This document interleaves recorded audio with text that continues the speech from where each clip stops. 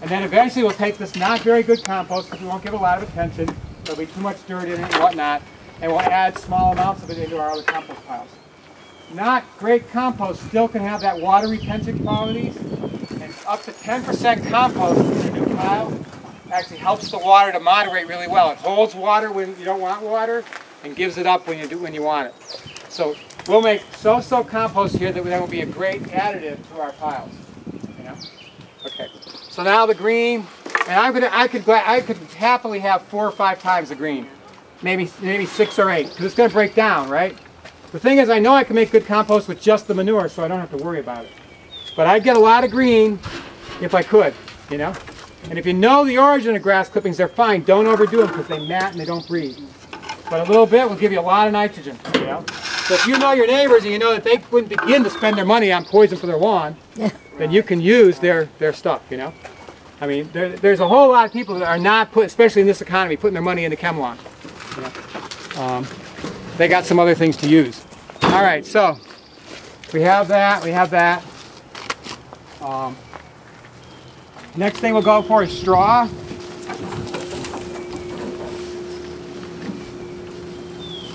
Oh, actually, you know what? I have one more thing. Of, we're only going to have one layer of this juicy stuff. Oh, that's right. I have a little bit more I'll show you.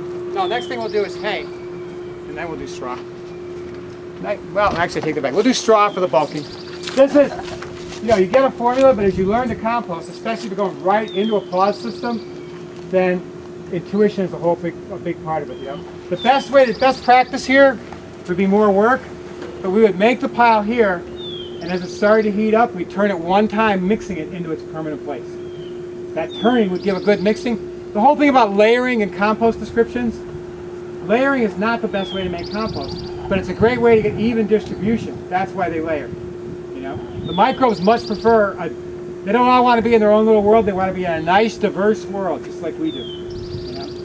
And so having it all mixed up is better than having those layers. The layers are just about getting the right proportions. This is my little food waste. I mostly eat vegetables, so it wouldn't be very attractive to rats. Okay, now we'll do straw. And then we're going to do some wet hay. Then we'll do more bulky. No, then we'll, then we'll do, yeah, we'll do a little more bulky and then we'll go with more manure.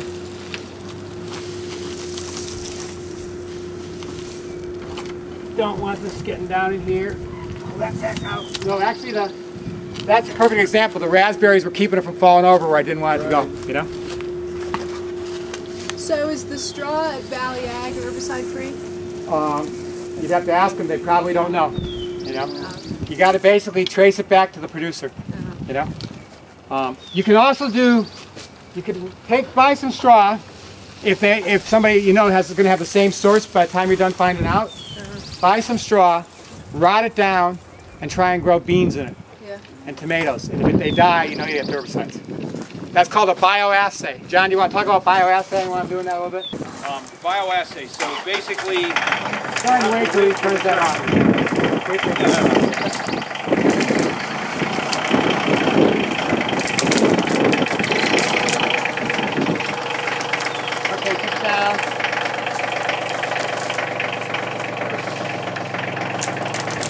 Wait till he turns that on. That's great, Juan. Just stay there.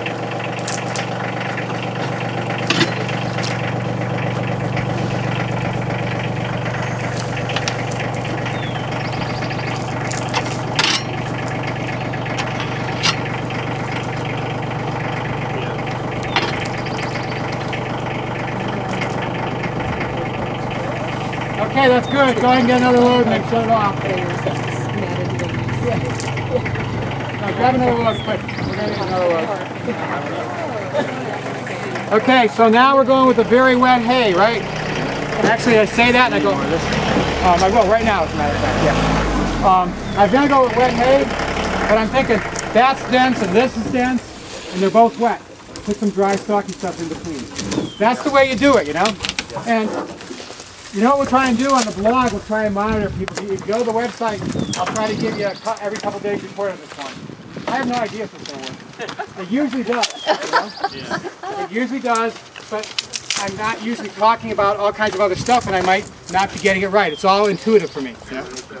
Um, pardon? This is where you say dry straw. Oh, the fungi. Yeah, is it's too dry now. It's all white. Dry. Oh, okay. Yeah, go over and take a bit of look. white stuff right You're here. looking for that aeration. I Well, think. Fungi can do better at dry. So if, it, if it's real dry, all that's going to be active is the fungi. Um, back at the uh, monitoring the compost environment. Okay. So the very surface of this got dry. If you go back to your monitoring the compost environment page, um, color white would be a mold or fungus as now the dominant organism on this stuff. They'll break it down, but if they're real slow.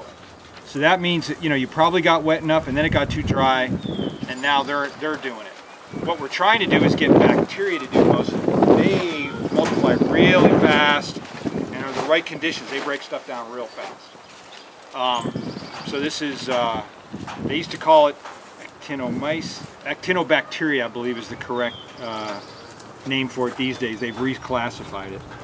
But it, it shows you that, you know, those critters are present and right on the surfaces it's dry so they're showing up. And uh, if your product even when it finishes if it gets too dry you'll start to see it turn white like that. Not a bad thing but it just kind of shows you. And that that's what that meant there. And that would have a um, a moldy smell to it like an old basement you know that would be the smell of that one. And uh, it means that you're you're too dry so um, no bacterial action right there. You're trying to get bacterial action. So the this this monitoring stuff becomes real important. Okay, so what I'm doing here, I'm using this hay, but I'm not just taking books of it that are all matted and dense. I'm trying to fluff it a little, get some air in it, you know? It's going to compact again, but if it's got some air, that allows microbial activity to get going, you know? Once again, this is not a farm technique. So Pat, If you're doing it on farm, you got to figure out how to do that with a machine, you know? Um, or you're going to be asking for food stamps. hey Pat, even though we're not on schedule, remember I looked at the weather and it said storm at noon. Well, Yeah. it's coming. Uh-huh. Good. Well, that'll make us 11:22. speed us up. So we'll- Okay. we'll, be having some rain here in a minute. So, you gonna- folks, You gonna have a cover for this, Pat? Um, yeah, we'll grab these top text. All right, this stuff here, I was gathering it up. When I was gathering dried stuff, I made it a point to grab this. This is bed straw, right? And it's got, they used to make mattresses out of it when it dried. It's got some nice green structure. So it's pretty ideal. If you got this weed, it's a pretty ideal weed. It's got nitrogen, but it's gonna have structure in the initial start. Once the pile builds heat, it needs less structure because it's got the chimney effect to give it power to, run, you know? So you want to try and get, your, that's why I'm fluffing this now. I know it's going to compact, but I need the structure in the beginning to get it going, and then the chimney effect will make up for the loss of some structure. Okay? So I have a little more green. I'm tickled because that's what's really missing in this pile is more green. We just didn't have enough weeds this week, and I didn't have time to harvest them just for the class. Um, so we get the green distributed around. And okay, the green, there's another thing that's great about the green. It's not just nitrogen, it's sugars. It's food for microbes. They really love those sugars. You know, it really helps with the diversity and gets them kicking. Um, jumping ahead, I was rereading the com- compost tea manual, and um, they're now putting fruit, mashed fruit, in the compost tea for diverse sugars to feed microbes. So I went to food Food Lion. The closest thing I find organic was uh, mangoes, which I happen to know don't get poisoned. And I bought two mangoes and mashed them up for my, comp- my compost tea. Which is a little over the top, but it was a class, so what the heck, right? Okay, Juan. And then we'll need more stalks. Yeah, I'll take that. All the green I can get. Thank you. You uh, cut a little piece of cover, cover this? No, we'll take the cover from over there, from up on the, they have a table. No, no, we have covers about that size right there. Yeah, up there by the compost pile, we got it. So rock dust is a mineral additive you could, great, thanks. is a mineral additive you could put in there, and what it does is that it, it's a site for fungal activity. Fungi actually like the rock dust. Uh, it's a mineral, and it actually adds uh, paramagnetic energy, which is that goes off to a whole nother world. Yeah, I didn't But- mean to go that deep into it. Well, you gave me the look like, what do you want to talk about? Okay, so Just that you can add rock dust, you can get at quarries. yeah, you can get rock dust at quarries real cheap. The um, USDA years ago, uh, there was there were because I hung around in Beltsville a lot. They had a guy come and uh, he was funded by the EPA to study acid rain damage here. And uh, his solution, what he after all this work he did, at the very end of his project, he found out that rock dust mixed with compost on the pine trees at the high elevations was was uh, mitigating the acid rain damage.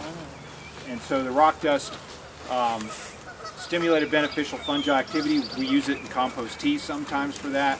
It provides really slow release rock, powders, and uh, you know it's an amendment you can put in. Just like as this finishes off, say you had a field that needed a lot of calcium.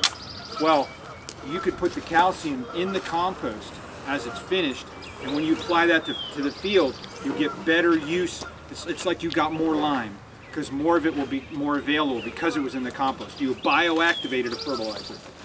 And uh, years ago in California on commercial vegetable production, they showed that you increase nitrogen use efficiency when fertilizers are blended with compost, and uh, you know higher yield, and and basically you turn a more soluble nitrogen into a sort of a time release type of thing. So there's all kinds of things that happen once you once you have the compost. And you know a lot of people would say, boy, this is an awful lot of trouble to go through. But if you can make some really good concentrate, then you can take the concentrate and do lots of other stuff with it. See, I, sorry. we're going to have to get into worm compost production and worm casting here, production real soon here Yes, I understand. because we're behind. Ah, we are But- way behind. Okay, but that's pretty key. This is a lot of work. Do it once. If you're a home gardener, do it once a year. Do it in your slow time. You know, make great compost. Make the time once a year. Eliot Coleman. People know who Eliot Coleman is. He's like a pretty famous grower, right? You know, he says he spends like 60% of his time making compost. If you make great, now we're not there. I wouldn't recommend spend 60, but if you make great compost, it makes everything else so much easier. Take the time to ace the pile. Do the hard work. Get it right once a year. That's all you need. Okay? All right, we'll do one more layer of everything and we'll be out of here. When I was at Hickory Nut Gap Farm, I would I would take in uh, bedding, and I'd make a 180 foot row of bedding, 10 foot wide and four and a half feet tall. And then every every week I would put um, five or six garbage cans full of food from Food Lion. So I, t- I took the food, I'd open it up, throw it in there, shut it, open it up, and it's still so dry. The food's stuck. It's not uh-huh. enough water. It's just sitting there drying. And I do that, and then when I finally had like 180 foot of a row filled with food, then I start becoming a trucker of manure and uh-huh. silage. Right. And I and I get that all in, and then I hit it with the water, and then boom, you know, I'm 155 the next day, and now it's gonna crank. So see, I even though I had food, I was stockpiling, stockpiling, stockpiling. And I said, okay, I'm at the right spot now. And now I hit it with the, with the kicker nitrogen. Then it all kicks in, and I adjust for moisture. You know, do the uh, do the cover because it's summertime. You know, hit it with the turner. And now this system is like passive, but you know, you can get the you can get the front off of this thing, and you can turn it later. Right. But I'd recommend, you know, waiting till it's broken down pretty good. You know, because otherwise, you, you know, it's, it's a lot of work turning this stuff. Um, and back to that synergy thing, which is going to segue into the worm casting production, which we should already be in a moment. One more load right now, Juan. We're going to throw some manure on top of this and be done. Okay. Uh, I need lots of stalks fast. what? Uh, what Hurry, the, we uh, got to get this pile right in a hurry. The storm is coming, matey. Well, if the time schedule is passed, that's Yeah, we, we're about an hour behind. I'll explain that synergy in a minute. Right now, you are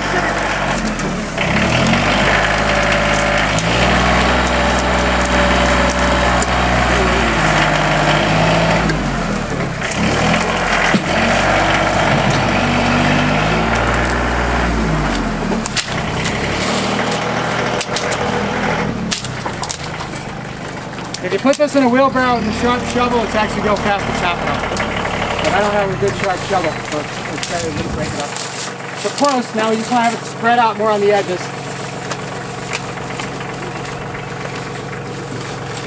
Get that last one there as well. Me that fork for a second, John. Uh, no, this is it. I'm not turning, I'm just gonna grab it.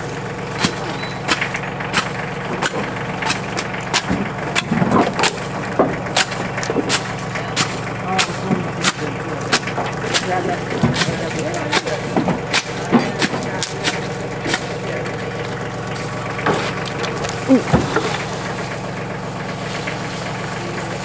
You're looking straw, right? Um, yeah, any straw. I'll take any straw there is. That's hay though. Take that one, man.